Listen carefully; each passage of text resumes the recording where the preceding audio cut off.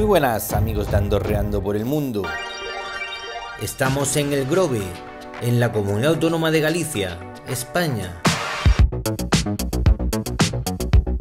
El Grove, en gallego o Grove, es un municipio y una península formada por dos parroquias, San Martiño y San Vicente, y una isla habitada, Isla La Toja, localizada en la parte occidental de la comarca del Salne, en la provincia de Pontevedra, a la entrada de la ría de Ourosa. Tiene una superficie de 21,89 kilómetros cuadrados y una altitud de 64 metros sobre el nivel del mar, perteneciente a la comunidad autónoma de Galicia.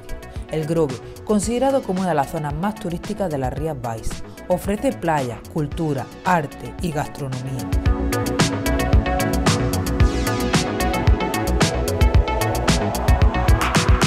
El puerto de Ogrove es el principal puerto pesquero y deportivo. Aquí está la lonja y la plaza de Abad. En él verá embarcaciones de diferentes tamaños, desde las dársenas, planeadoras o barcos mejilloneros, hasta cruceros de grandes dimensiones. Bienvenidos a Ogrove.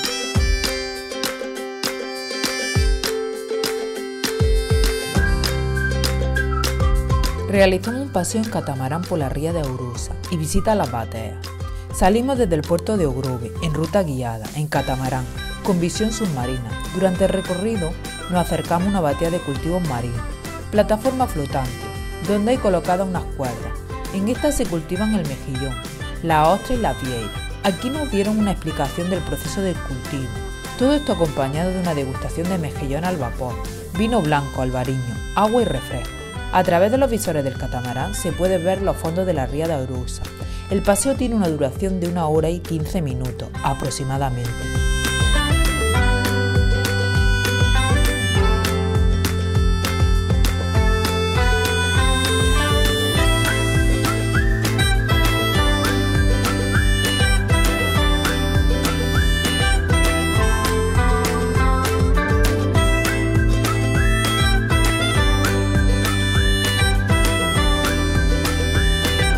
La iglesia parroquial de San Martín data del siglo XV, aunque conserva elementos de una edificación románica anterior y un campanario barroco.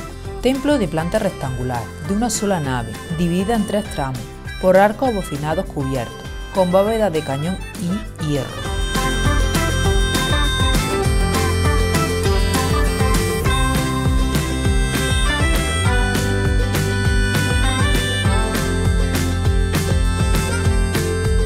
El Museo del Salazón abrió en 2007, albergado en una antigua fábrica de salazón, que han sido restauradas.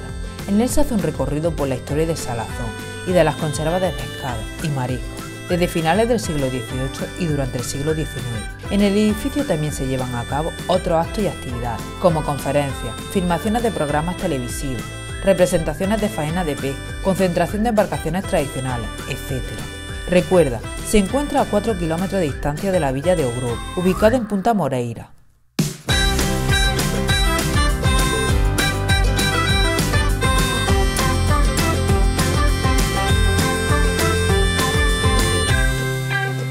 Suscríbete a nuestro canal y dale a la campanita.